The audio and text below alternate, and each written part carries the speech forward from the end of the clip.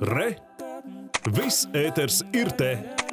Vienmēr tā ir drošības noteikumu neievērošana. Tā par medību laikā notikušajiem negadījumiem saka Latvijas mednieku asociācijas valdes priekšsēdētājs Haralds Bārviks. Tā noticis arī pagājušās nedēļas nogalē, kad dzinēja medību laikā Pelču pagastā tika sašauts mednieks. Šāviens tika raidīts pa mednieku līniju. Šādās vietās visur, kur ir tas šaušanas sektors ir ierobežots un pareizāk būtu taisīt stāvtornīšus un iztīrīt vārnkājas, lai dzīvnieku būtu iespējams iepriekš pamanīt. Jo, kā redzat, ir jaunaudas un dzīvnieku var pamanīt tikai, kad viņš ir šķērsojis ceļu. Tā esošo vietu mežā Pelču pagastā, kur aizvadītās nedēļas nogalē dzinēja medībās, notika negadījums, tika sašauts mednieks, raksturo valsts meža dienesta vecākais inspektors medību jautājumos Dainis Nēlants. Viņš uzsver, galvenais iemesls bija medību noteikumu pārkāpšana. Konkrēti, punkts, kurš aizliedz šaut pa mednieku līniju, tas ir lādiņš vai tā daļa nedrīkst lidot tuvāk par 15 metriem no mednieka. Mēs esam vietā, kur mednieks sēdēja, kas raidīja šāvienu.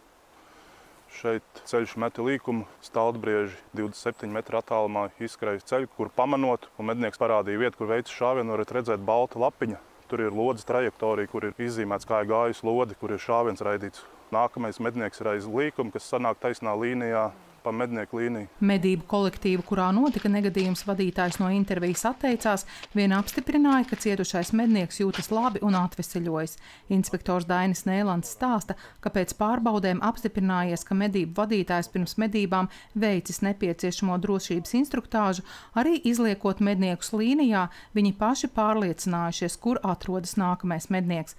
Tomēr kāpēc brīdī, kad šaut nedrīkstēja, zvēri bija jāpalaižajam savu gaitu, bet pieredzes bagātais mednieks tomēr izšāva, vēl tiek skaidrots. Veicot analīzi par tiem pašiem nelaimes gadījumiem, kaut kādu, nu, nu nezinu, desmit un vairāk gadu garumā, jāsacina, ka vienmēr visur ir bijusi drošības noteikumu neievērošana pamats. Kārtējo reizi ir mednieks ar pieredzi, jo, diemžēl, šajā jomā problēmas mēs sastopam tieši ar pieredzējušiem medniekiem.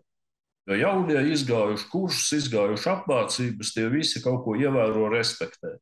Bet ir uh, jau cilvēks ar pieredzi, pašpārliecināts, viņam šķiet, ka viņš visu zina, visu prot. Nu, rezultāti ir redzami. Šobrīd par notikušo valsts meža dienests ir uzsācis administratīvā pārkāpuma procesu. Lai noskaidrotu visus negadījuma iemeslus, arī valsts policijā sākts krimināla process. Policijā atzina, ka mednieks, kurš raidīja liktenīgo šāvienu, savu vainu atzīst un ar policiju sadarbojas. Šogad šis ir pirmais negadījums medībās. Pēdējos desmit gados pavisam bijuši 27, no tiem pieci ar letālām sakām. Ieva Benefelda Lans Perševits, Skrundas televīzija.